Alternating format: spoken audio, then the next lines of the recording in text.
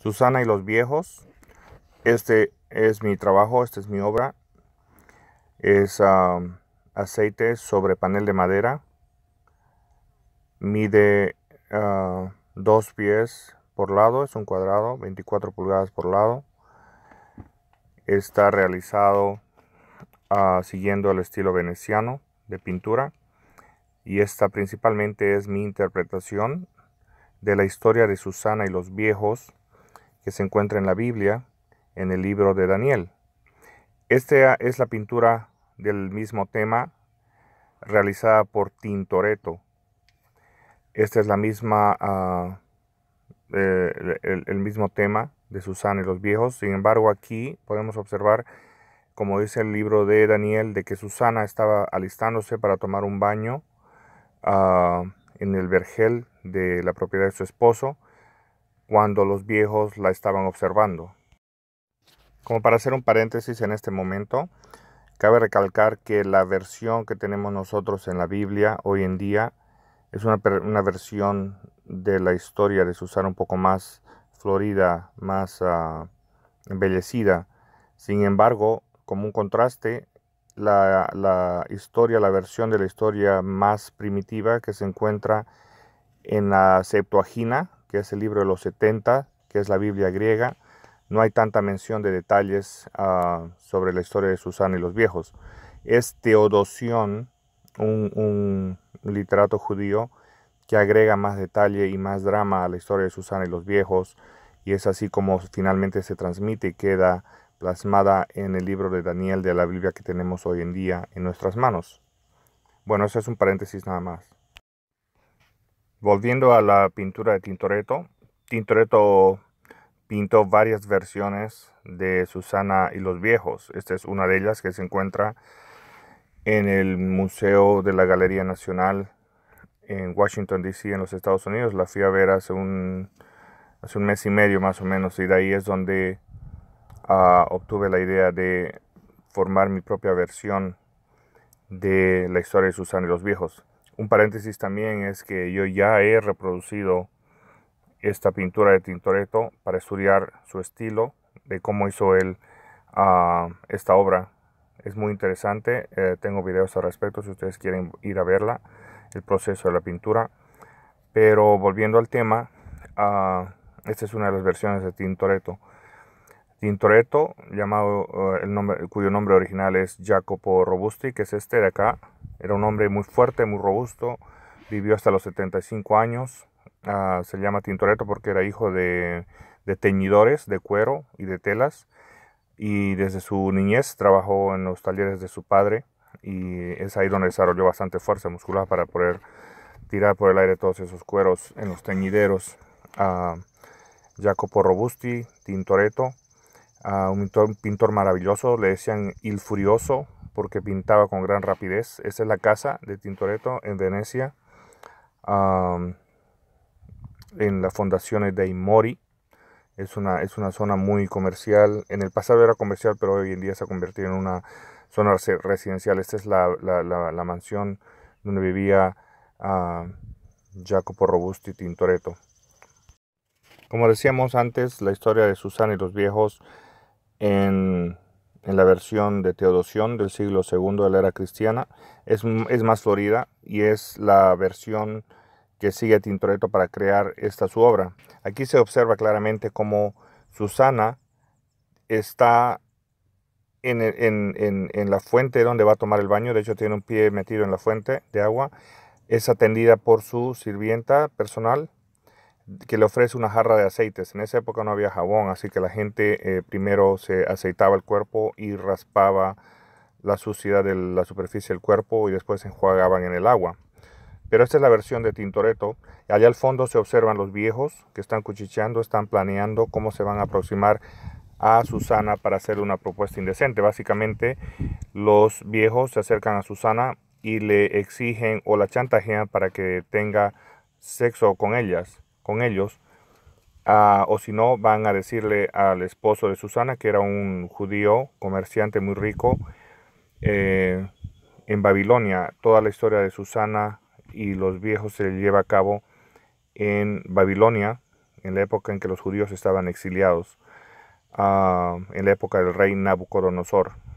Bueno, en fin, ah, la historia va que Susana prefiere conservar su virtud ah, y, prefiere no ofender a Dios ni ir en contra de sus propios principios y morales y rehúsa el chantaje de los viejos. Bueno, los viejos, molestos, enfadados por el rechazo de Susana, agarran y la acusan ante, ante el Sanedrín de los judíos, del cual ellos eran parte, porque estos dos viejos eran ah, ancianos judíos que habían sido nombrados jueces ante el Sanedrín para fungir como jueces del pueblo. Y ellos van y hacen la acusación de que Susana ha cometido adulterio con un joven en el vergel ah, eh, de una de las propiedades de su esposo, del esposo de Susana. Bueno, eh, el Sanedrín, el juzgado, les da mayor credibilidad a la historia de los viejos en base a su, su, su, edad su, y su prestigio en la corte, ¿no es cierto? Y no le creen mucho la historia a Susana. Susana finalmente es condenada a morir apedreada, lapidada, y ella acepta su ah, destino ah, llorando y eh, entregando su espíritu y su destino en las manos de Dios. Bueno, eh, la historia va de que Dios a través de Daniel, que en ese momento era un niño precoz, Daniel el, el que escribió el libro de Daniel de la Biblia, que se estaba preparando para ser un juez para la corte de Nabucodonosor en esa época. Bueno, la cosa es que Daniel estaba observando cómo llevaban a, Susana en procesión al lugar donde iba a ser lapidada, muerta a pedradas por el pueblo. Y Daniel detiene la procesión e interroga a la gente y les pregunta por qué han, decidido castigar a Susana sin hacer mayores averiguaciones, sin hacer este, interrogaciones apropiadas a los viejos y nada más tomando en cuenta la palabra de los viejos y sin ah, evaluar las evidencias que se tenían sobre el caso. También se senta un precedente sobre investigación en los casos criminales en esta época. Y entonces el pueblo decide detener la procesión y le hace caso a la sugerencia de Daniel, de manera que vuelven al juzgado, llaman a, los dos viejos que acusaron a Susana, pero esta vez, a sugerencia de Daniel, los interrogan por separado, los llevan a salas separadas y les hacen las mismas preguntas, que eh, en pocas palabras es el, eh, que cada uno de ellos dé su relato de cómo es que vieron a Susana engañando a su esposo en el vergel de la propiedad con un jovenzuelo. Le preguntan a los dos ancianos ah, bajo qué árbol vieron a Susana con su amante en el vergel de su esposo. El un viejo dice que lo vieron bajo un encino y el otro viejo eh, hace mención de otro, de, otro, de otro tipo de árbol. La diferencia es que el encino es un árbol bastante grueso, de tronco muy grueso, y el, árbol que mencionó el otro anciano eh, tiene el tronco delgado. Entonces, el punto que hace Daniel es, es, ese es un error muy grave, muy grosero, de, no saber bajo qué tipo de árbol han visto a Susana con su amante. Y la, el, error grosero es de que hay una grandísima diferencia entre el grosor de un árbol, del tronco de un árbol, comparado con el otro que menciona el otro anciano. Entonces de inmediato se dan cuenta que los ancianos están mintiendo y que Susana es inocente. Así que Susana es ah, eh, absuelta de toda acusación, es encontrada inocente y vuelve con su esposo que le recibe con los brazos abiertos. Y ahí la moraleja de la historia de Susana y los viejos es muy sencilla, de que la, la virtud de una persona eh, vale mucho más que cualquier otra cosa. La otra, la otra moraleja es que hay que obedecer a Dios en sus mandatos en todo momento y que al final la verdad siempre sale a la luz. Y no es necesario decir que el juzgado encontró que la, que la astucia de los viejos debe ser castigada y la malicia de estos dos viejos fue, fuese castigada con la muerte, o sea que los dos viejos fueron puestos a muerte, se les dio muerte por haber mentido y levantado falso testimonio contra Susana. Una nota muy interesante es que la palabra Susana viene del griego Shoshana, que luego en, en hebreo se, se, convierte en Shoshana y luego en latín en Susana, que nos llega al español como Susana. Y esa palabra indica que es, la, traducción sería cono. Cono en el sentido del área pública, el área eh, pública de las caderas de una mujer, como representante de pureza, virginidad, valía. Entonces, ah, nos hace pensar sobre la composición o la creación de la historia de Shoshana, Susana, como una historia en la que se da valor a la preservación de la virginidad de Susana o de su pureza o al menos de su virtud.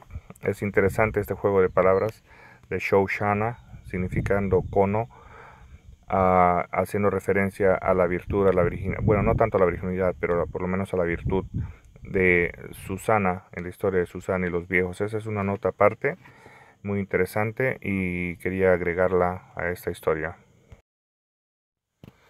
El siguiente punto que quiero hacer es, y a manera que ustedes están observando mi versión de la historia de Susana y los viejos, uh, observen claramente el fondo, el fondo que le he dado a mi pintura, a mi versión de Susana y los viejos, es la misma, es el mismo fondo que utilizó Tintoretto en su pintura de Susana y los Viejos.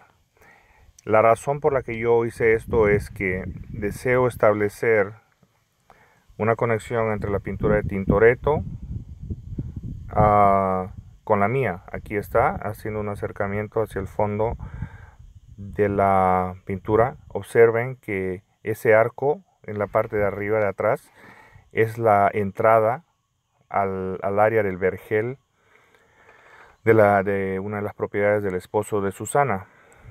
Ella entra al vergel y se sienta a, las orillas de esa fuente para darse un baño. En la ah, pintura de Tintoretto que voy a poner a continuación, se observa que Susana está en la fuente y está atendida por su, por su sirvienta personal mientras que los dos viejos están al fondo en figuras pequeñas y ocultas por la luz de la luna. Aquí la, aquí la podemos observar allá al fondo. Se observa los dos, viejos que están afuera del vergel. Están, no, han entrado todavía a, molestar a Susana y están ellos eh, planeando cómo lo van a hacer. En otras palabras, eh, mi pintura sería la escena siguiente a la escena que pintó Tintoretto.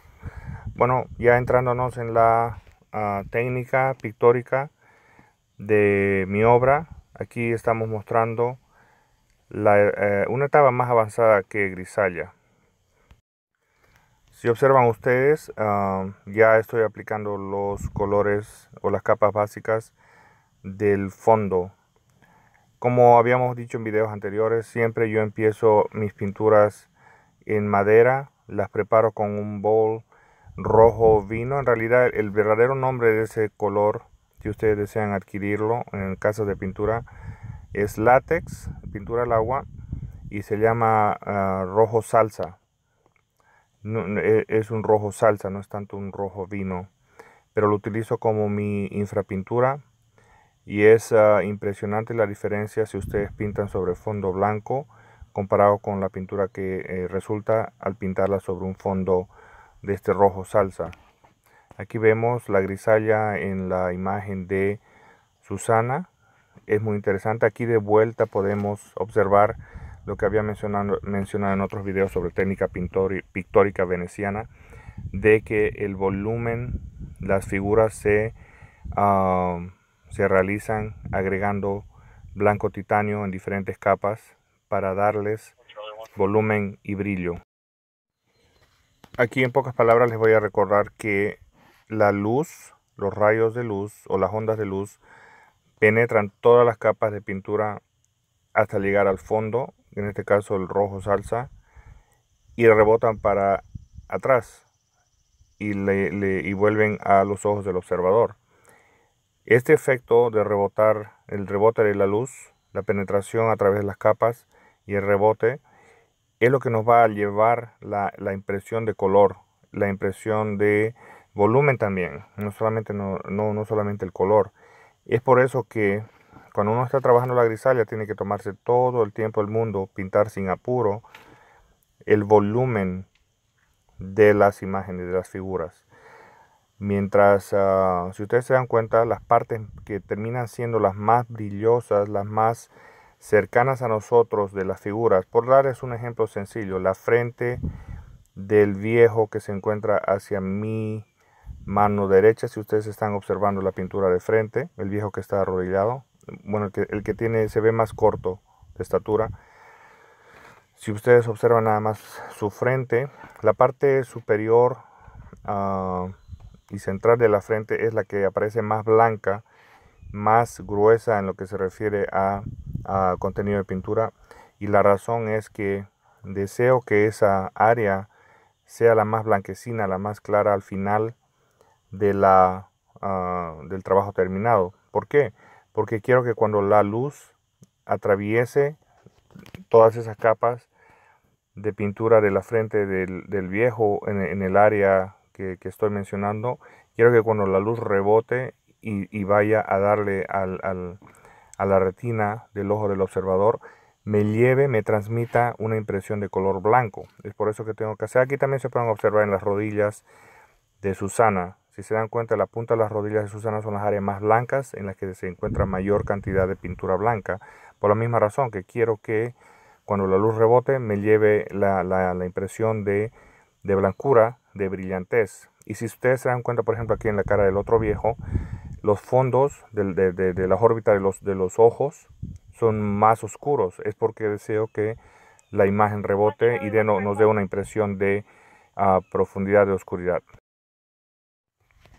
También como ya me había mencionado en otros videos ah, instructivos sobre la técnica veneciana, se ha mencionado que cuando uno deja ah, las áreas oscuras de la infrapintura que no van cubiertas con pintura blanca, nos van a servir para indicar profundidad. Esas van a ser las áreas de las sombras, las áreas más alejadas de, de nuestros ojos o las, las, áreas que llevan más sombra, ah, por ejemplo, allá al fondo en el jardín o detrás de las figuras Ah, se ve más, más oscuridad. Esas ah, sombras de ambos lados nos ayudarán. Por ejemplo, aquí he tomado una, una, un video con menos luz, precisamente para hablar de las sombras. Vean cómo las sombras del fondo, los colores que son más oscuros del fondo, nos ayudan a empujar las figuras, las tres figuras de los personajes de mi pintura hacia adelante. Y bueno, en este momento ya les di más color porque estamos avanzando en, lo, en, el, proyecto. Aquí ya eh, he trabajado con los verdes del fondo. He terminado básicamente el fondo, les he puesto las flores, los diferentes tonos de verde y he trabajado la figura del viejo con la túnica ah, amarilla, dorada. La forma en que se obtiene volumen es con la aplicación de diferentes capas de pintura. Capas delgadas de pintura al óleo muy diluida. Y si nos toma 20, 30, 40 capas de pintura diluida con óleo para dar ah, la textura a las telas, por ejemplo, o a la piel de, la, de los personajes, pues tenemos que hacerlo porque esa es la única forma de trabajar en el estilo veneciano. Ah, Todavía se aprecia aquí que no he trabajado en la, túnica blanca de Shoshana. Ah, simplemente he trabajado en, sus, en las sombras y, en, las, uh, en las sobresaliencias. Pero sí ya tenemos la figura del viejo con la túnica amarilla o dorada casi terminada. Y he querido darle una textura más como de túnica de seda a la túnica amarilla y es por eso que me ha tomado bastante tiempo y aplicación de diferentes capas de ah, pintura delgada. Este es un detalle del fondo con las flores del vergel, el arco de la entrada y la expresión de, la, de, la, de los personajes es muy importante porque queremos hacer que el observador se dé cuenta de que ellos están hablando. Eh, no, son figuras estáticas. Ah, por ejemplo, el, viejo de atrás, el, viejo de la túnica roja, se ve como un poco más cínico, más agresivo en, su, en su aproximación hacia, hacia Susana, mientras que el viejo de la mano derecha, con la túnica amarilla, tiene una, una, una expresión más, como más suplicante, como tratando de convencerla ah, de buena manera a Susana que entregue sus favores sexuales a los viejos. Y de pronto también vemos que la expresión de Susana es, es, es como de miedo, de pánico, ella está asustada, está tratando de alejarse del viejo de la túnica amarilla, sin ver que el viejo de la túnica roja está exactamente detrás de ella y la, está yendo a agarrar. Es una escena muy, ah, muy interesante, muy bonita. Es por eso que me tomé mucho tiempo trabajando en esta pintura. Y puse bastante énfasis en las expresiones. Ah, ya vamos a ver en, el video que viene ya, ah, o los videos del final, cuando se vea la pintura terminada. Ah, aquí precisamente, donde ya las expresiones están terminadas. Antes de llegar a comentar las figuras de Susana y los viejos, podemos empezar comentando el fondo. Eh, como lo dije antes, es el mismo fondo que Tintoretto le puso a su pintura de la versión de, Susana, de su versión de Susana y los viejos. El arco, que es la entrada al vergel. Vemos que el, tiempo del día, el momento del día, es, el atardecer. Deben ser las seis y media, siete de la noche. Susana seguramente fue a tomar un baño ah, en la fuente del vergel para luego retirarse a su, a su casa, ¿no? Después de un día eh, agitado, yo creo. Y ese es el momento en la que los viejos que la estaban esperando, escondidos seguramente en las afueras del vergel, aprovechan para entrar detrás de ella y empezar a acosarlas con sus propuestas indecentes. Bueno, aquí vemos mi firma en el bloque de mármol que le está sirviendo de asiento a Susana a las orillas de la fuente de agua donde está tomando su baño. Si ustedes se fijan, yo creo que tenemos tiempo aquí para ver la textura de la, de la túnica blanca de Susana. Es, es, una, es una tela gruesa de algodón, uh, poco pesada, si ustedes se dan cuenta. Y para dar ese efecto realmente se tienen que trabajar bastante, hay que aplicar bastantes capas de pintura y um, darle ese volumen. Si comparamos la túnica de Susana, que es de un algodón blanco, con la túnica amarilla del, del viejo, es este, que es de seda, se dan cuenta ustedes que la textura es bastante diferente. La tela, bueno, aquí tenemos la expresión en la cara de Susana. Como le decía, en, una pintura, como es una sola imagen, la que nos tiene que contar toda una historia. Un pintor, uno de pintor, tiene que darse el tiempo y diseñar y darse modo para que el observador de esa pintura entienda muchas cosas que están sucediendo. Y eso solo, solo contamos con una imagen. Esto no es como un video en el que podemos contar una historia y darle voz y, dar muchas imágenes ah, para contar una historia. Ah, la belleza de la pintura es que en una sola imagen se puede decir una historia, una historia muy complicada, una historia muy larga, como por ejemplo la de Susana y los viejos. Para contar nuestra historia, nosotros los pintores utilizamos las expresiones de las caras de las eh, figuras, de los personajes de nuestras pinturas. Aquí, como les decía, este viejo este, tiene una cara más suplicante, como que está rogando a Susana, mientras que este viejo de atrás tiene una, expresión más cínica y más agresiva. Incluso, si ustedes se dan cuenta, he utilizado las posturas de los dos viejos para, para mostrar el modo en el que se encuentran ellos. El viejo de atrás, este de acá, ah, aparte de la expresión en su cara, casi se, puede hasta ver como que está diciendo algo con su boca entreabierta, algo seguramente agresivo, pero él está erguido, es una figura más estilizada, el, hombre es más delgado, un poco más muscular. Eh, ahora la altura en la pintura, si se dan cuenta, sobresale la estatura de uh, Susana. Esto no, me ayuda a indicar que es una, es una imagen más agresiva, es una imagen más imponente, más dominante.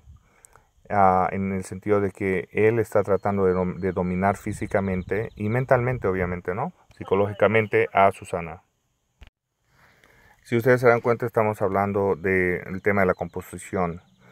Uh, muchas personas me han preguntado, ¿y cómo se puede componer una pintura? Básicamente todo comienza con lo que uno quiere transmitir, qué historia quiere contar uno, qué quiere que el observador perciba, cuál es la idea que quiere transmitir el pintor a su observador. Y en base a eso uno tiene que empezar a componer la pintura. Como decía, estamos hablando aquí de la composición de mi, uh, de mi obra, Susana y los viejos, y estamos explicando las diferentes expresiones y cómo, cómo he usado mis elementos para transmitir una historia.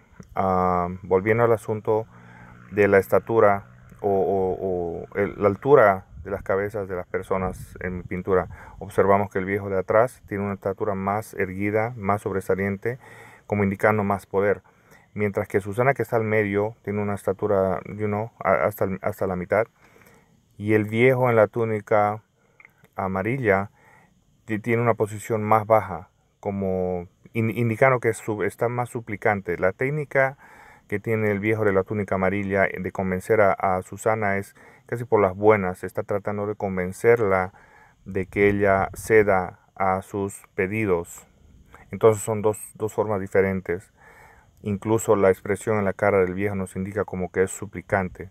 Sin embargo, ya volvía eh, adentrándonos en la imagen de Susana, a ella no le interesa ninguna de las dos formas eh, que los dos viejos están utilizando para hacerla um, cometer adulterio y faltar a los mandatos de Dios y a su propia virtud y a sus propios morales y principios.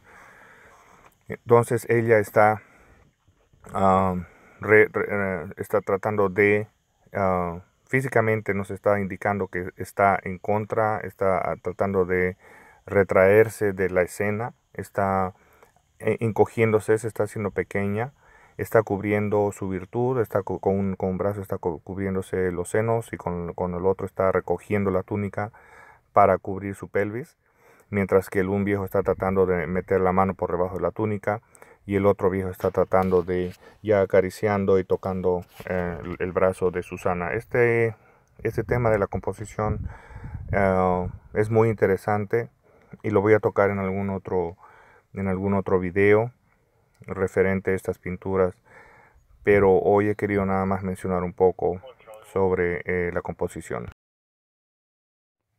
bueno eso es todo lo que puedo hacer por ustedes por hoy gracias por haber visto mi video Espero que les haya servido. Hemos tocado varios uh, temas, muchos tópicos.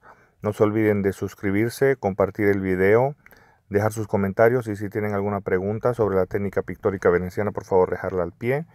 Y de nuevo muchas gracias y uh, nos vemos en el próximo video.